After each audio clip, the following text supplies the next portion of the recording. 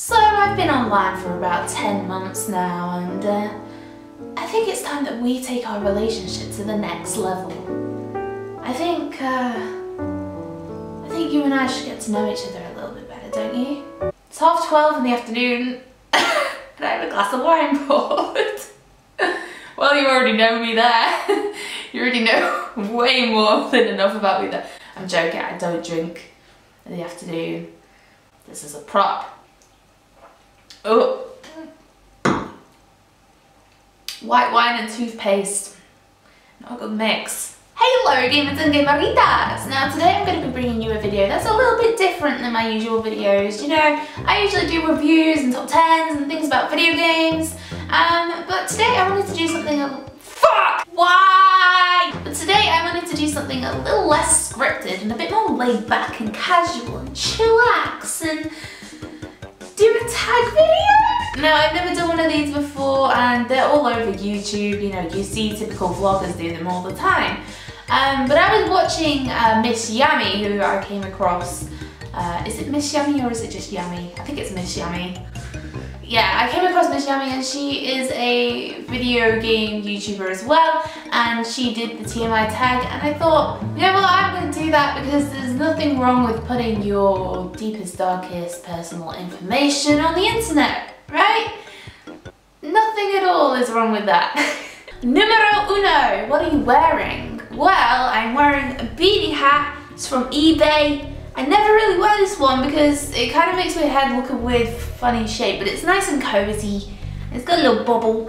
Um, and seeing as we're in March and we're transitioning through to spring soon, I want to get all my wear out of my beanie hats as I can. I'm also wearing my Moose Blood jumper, which I freaking adore. It's amazing. It's like fluffy on the inside. Look, it's fluffy on the inside. It's so warm and cozy, and I got it in a size large, so it's just big and cozy, and I could just and it's got a little moose blood sign there. I'm really obsessed with moose blood at the moment. Um, leggings, live in black leggings, and socks. uh, I guess that's everything I'm wearing. Number two, have you ever been in love? And yes, thankfully I'm currently in love with my beautiful hunk of a boyfriend, Jimmy.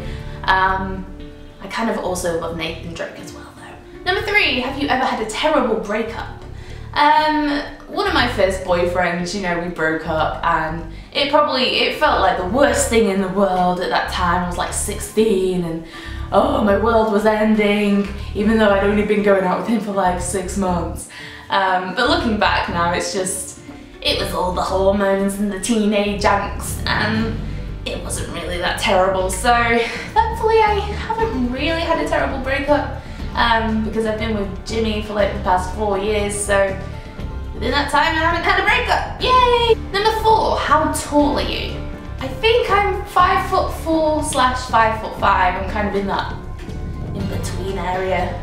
Really average, you know. Average Hale is average. Number five, how much do you weigh? Um, I make a note of never weighing myself at home, but um, I have to go to the hospital quite a lot for my consultant uh, to do with my liver. So they weigh you every time you go to see if you've like had a massive weight drop or anything and something to do with seriousness and blah blah blah. And I never really look, but she always says something in the kind of 60 kilogram bandwidth. 60 kilogram, is that right? Kilograms? I don't know what that equates to in stone. I guess it's just, I hope it's just an average body weight. I don't think I'm obese. Number six, any tattoos? Yes, I have got four tattoos. In the order I got them in, I got my biohazard tattoo over the space where my liver is um, and over my biopsy scar. It's a kind of, you know, in joke. Ha ha ha, my liver is biohazard, just ha ha ha. And sometimes when I'm having like consultations and stuff, the doctors look at it and they're like, hey, and I'm like, hey, and it's just banter really. The one I got after that is my PlayStation tattoo. You can't really see it here, but I'll do another clip. I was gonna get originally, you know, the PS, original PS1 kind of coloured symbol. Um, then I was gonna get this, the, you know, the X, circle, triangle, square symbols, And then I was like, no, that's so overdone. So I had a controller instead because, you know, that's the way you connect with the game, through the controller. So yeah, it's a bit faded now. It used to be very black, but I kind of like the way it's faded to like a grey colour because it, it's like reminiscent of the PS1 era, you know, when you had the grey console. So I was gonna get it touched up, but I think I might keep it like grey, you know, homage to the old days. Number three is the I'm a fawn, you dork tattoo that I've got on my foot, which if you know Spyro, it is from Spyro. It's from Spyro 2 when Elora and Spyro's like, what are you, some kind of goat? She's like, I'm a fawn, you dork. Um, it's literally, it's the best quote in video games. And I've got it in some sort of kind of mural with gems and banners, and I love it, but it was the most painful experience of my life. Four hours of constant pain, like cold sweats, almost passing out, you know, when you get tattoos, after a while, it kind of, you just get used to the pain. With that, no, it got worse. And my foot swelled up to like the size of an elephant foot and I couldn't walk around for about two weeks, but it was worth it, you know, Spyro is always worth it. Number four was my Fallout 3 tattoo with Vault Boy doing the thumbs up and the mushroom cloud in the background and a little uh, lightning sign and the words war never changes underneath. And in terms of like artistry, that's like my most favorite one that I've had done. I think it's just the colors are amazing and the way she drew the Vault Boy just so accurately. I'm like so stoked with it. So whenever I look at it, I'm like, yeah, that's a cool tattoo. Number seven, do you have any piercings? I'm a bit boring. I just have my ears pierced. Occasionally I wear earrings, like if I'm going out somewhere posh and I wanted to complement my outfit. Um, but from back in the day, I used to have like four ear, you can't really see, no. Um, but I had like four piercings there um, from when I was like cool and emo and having loads of ear piercings was cool. But I haven't used those for years, but they still haven't kind of healed up. I don't know why. I think it's because I had them done with a gun instead of a needle and it just like shattered my ear cartilage or something. Number eight, who is your OTP? um, I don't really have an OTP. Who comes to mind when I think OTP? I think Fran and Balthier from Final Fantasy XII comes to mind when I think of OTP because they are literally just the couple of awesomeness. Number nine, what's your favourite television show? Um, I'm not a big TV watcher actually. I have Netflix and I use it for films mainly. Like, I just do not have the time to watch TV. I would rather put my time into playing video games than put my time into watching television shows. People are always like, oh, you haven't watched Breaking Bad, you need to watch it. Oh, you haven't watched Game of Thrones, you need to watch it. I just don't really have the time. There is one, there is one TV show though that I do watch religiously and it's kind of lame and I'm kind of like an old lady for it but it's my guilty pleasure. I watch Coronation Street which is a soap here in the UK and it's kind of awful but I love it at the same time. I am a loser. Number 10, what's your favorite band? Now this is a hard question for me because my favorite music, my favorite songs and my favorite bands change all the time. They change with my mood and they just alter every single day. But at the moment, I would say the band that I listen to the most is probably Moose Blood. My homeboys, I went to see them live um, a couple of weeks ago and they were fantastic. 11, what is something you miss? Um, and that at the moment definitely is my cat Smokey who passed away about a month ago. I miss her every single day and whenever I come downstairs in the morning, I'm I'm so used to her coming up to me and meowing and saying hi and not having that anymore is kind of lame. It really just breaks my heart that she's not here anymore, so I do miss her a hell of a lot. I know some people will only be like, will be like, oh, she's only a cat, but you know, she's been in my life for 15 years. I, I saw her pretty much every day for 15 years, so, you know, to not have her here anymore, it's, it kind of sucks. So I miss the little Smokey, I really do. Number 12, what's your favourite song? Again, like I said before with the music thing, it changes all the time. At the moment, It's Cherry by Moose Blood. Would you have thought it was Moose Blood? Who knows? But yeah, it's Moose Blood again. Yeah, Cherry is a great song. Love it. On my iPod, my most played song is Let's Stay Together by Al Green, which is also a cracker. Numero 13. How old are you? I'm 20 and I'm gonna be 21 next month. I'm gonna be 21 next month! Ah! I don't wanna be 21. That means I'm a real adult. A real adult. I can go to Vegas and fucking lose my mind on alcohol. That, that marks real adulthood right there. Number 14, what's your zodiac sign? I am a Taurus. I am Taurian, which means my qualities are being stubborn, being self-indulgent, being lazy, materialistic, and sensual.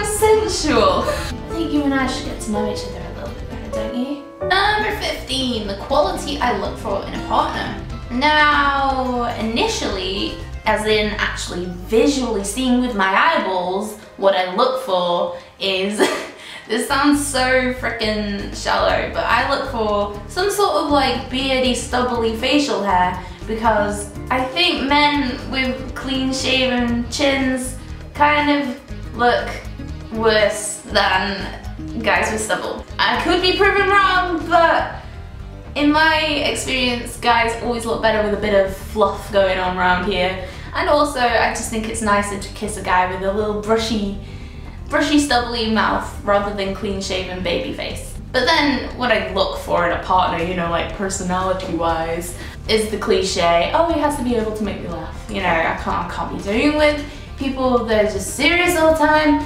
We need to be able to dance in the kitchen and make fun of things on television and just have a ball, really. But I also look for someone who is intelligent. There is nothing worse than having a conversation with someone who you have to alter your words when they don't understand what you mean, like you want to use really good lexis and vocabulary, but they're like, oh, what do you mean? That is the fucking worst. So they have to have a smidgen of intelligence about them, otherwise I just can't hold a conversation and I want to slap myself in the face. Oh, and also, the number one thing is they need to know the definition of what ignorance means. Ignorance does not mean that someone is ignoring you. Ignorance means that you are uneducated about a topic. There we go. Have we cleaned that up? Has everyone cleaned that up? Do we all know the definition now of ignorance? Thank you. Sorry, I'm just going on a bit of a rant there. Um, Number 16, what's your favourite quote? I'm not someone who goes for all these inspirational, do what makes you happy quotes and things like that off Instagram. I find them super cheesy.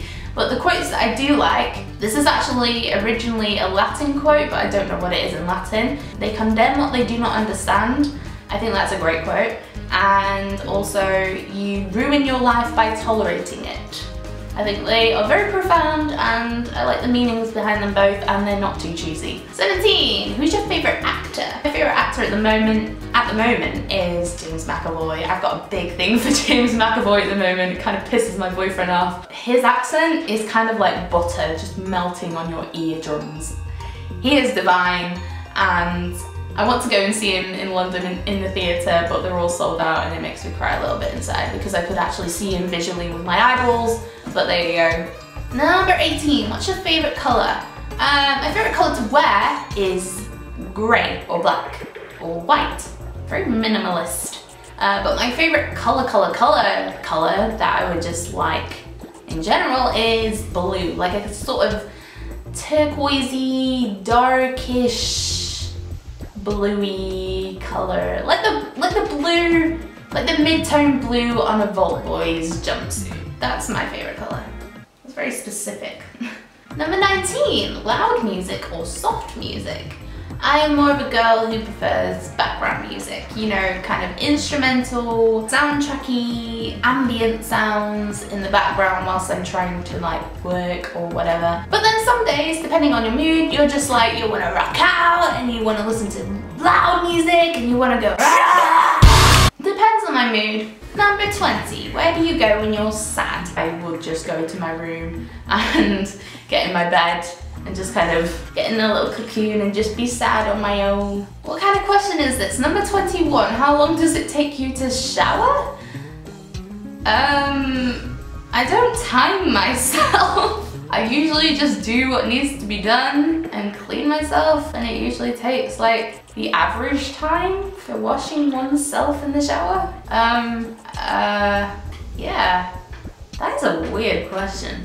Number 22, how long does it take you to get ready in the morning? Um, I keep starting my answers with um and it's making me annoyed. Um, so I just did it again. Stop saying um. Okay. It depends where I'm going and how much makeup is needed for the particular activity that I'm embracing. I don't know, I would say anywhere between 30 minutes and an hour, I guess. Number 23, have you ever been in a physical fight? Does getting punched in the face in a nightclub by a 40 year old man count as a physical fight? Because that definitely happened because Blackpool is just the best place on earth. Visit Blackpool. Don't. Number 24, what's a turn on? Like I said before about what I look for in a partner, stubbly beards, intelligence. Yeah, I think I think that's pretty much my turn ons. Beards and being brainy. Number 25, I think I just spat. What's your turn off? Not knowing what the word ignorance means. Number 26. What's the reason you joined YouTube? The reason I joined YouTube was because back in the day, I used to have a job working at Blockbuster Entertainment, which was the best job ever! I loved getting to go to work and talk about video games to people and have free rentals of video games and do midnight launches and stuff like that. It was great, and then Blockbuster shut down, obviously. Obvi not obviously, but everyone knows in the UK that Blockbuster shut down in 2013 and I got made redundant and it sucked. Um, and I really miss Blockbuster. I miss the interaction with people about video games and belonging to that sort of community. So I thought, why not do YouTube? Because it's kind of the same thing, but on more of a global level, getting to interact with people about games and talk about games and have my own opinion on games. So that's kind of why I set up a channel to do that kind of stuff. Number 27, what are your fears? Illness, not having financial stability, and losing people that I love. Number 28, what was the last thing that made you cry? The last thing that made me cry was Smokey's death. My parents told me and they had her wrapped in a blanket. She passed away in the garage on her own, bless her. Um, so I came downstairs and I was I was fine, like I didn't cry then. And then I went back up upstairs to my boyfriend um, and I told him Smokey died and I just burst into tears. I didn't feel myself welling up or anything. It just happened like straight away. I just started crying instantly. Um, so that was the last thing that made me cry, little smoky wokey. Number 30, what is the meaning behind your YouTube name? HaleFail is a combination of Hale, which is my last name, and Fail, which is a gaming term, I guess.